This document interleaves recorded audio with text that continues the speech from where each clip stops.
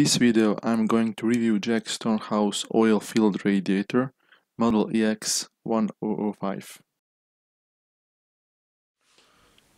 If we talk about design, as you see this is a very nice and portable heater in combination of black and grey color.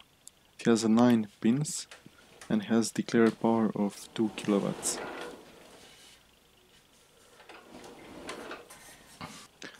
Has a huge uh, LCD display and a plastic handle, which is very useful if in case you want to move radiator from one room to another room. If you want to use a handle, uh, you have to press it and it will pop up.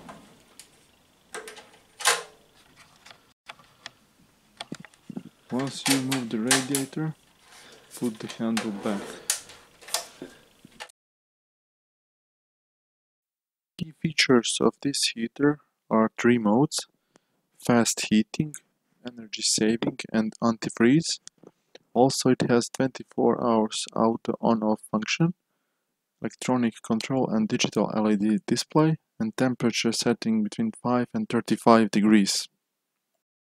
The dimensions of uh, radiator are width is 14.7 centimeters, length is 43 centimeters and height is uh, 65 centimeters.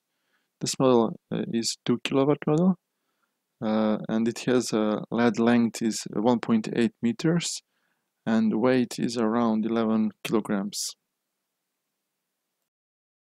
I'm going to use this device to measure the real consumption of radiator. As you can see it shows 0 watts at the moment. This is the remote. As you can see it has six buttons.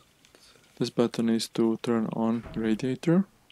This one is to adjust the power radiator and these two are for temperature and this is a timer button and mode button. So we will turn on radiator.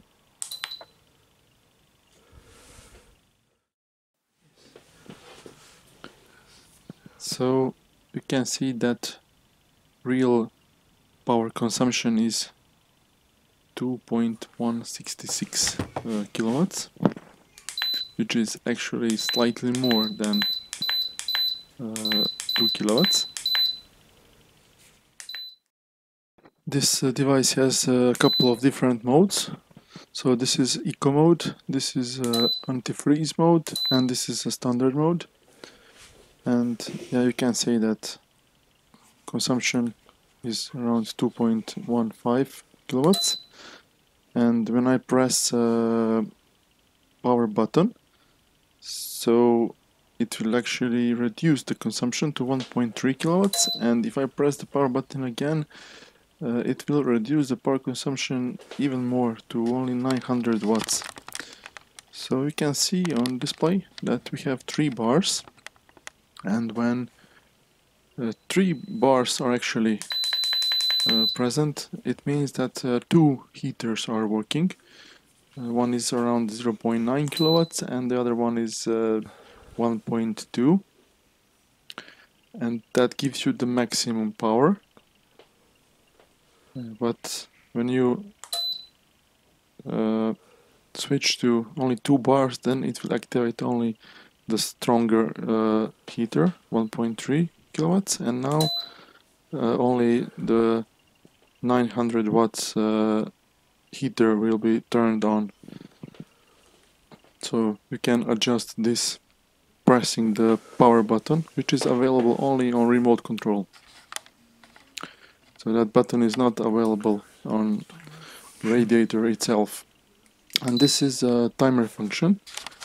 So you can adjust uh, after uh, 3 4 5 hours uh, to switch off uh, radiator automatically. And this is to turn off the radiator.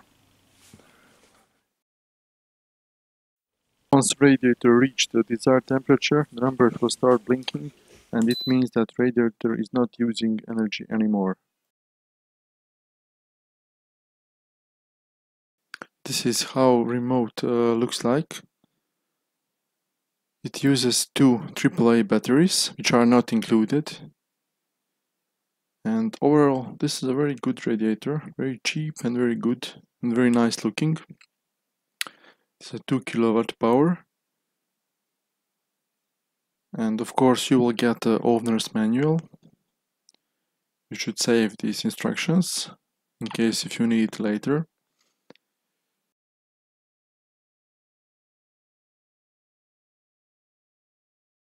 overall this is a very good radiator uh, so it is very economical. It has remote and uh, so in my case uh, energy consumption is between 2 and 4 kilowatts per night depending on uh, desired temperature.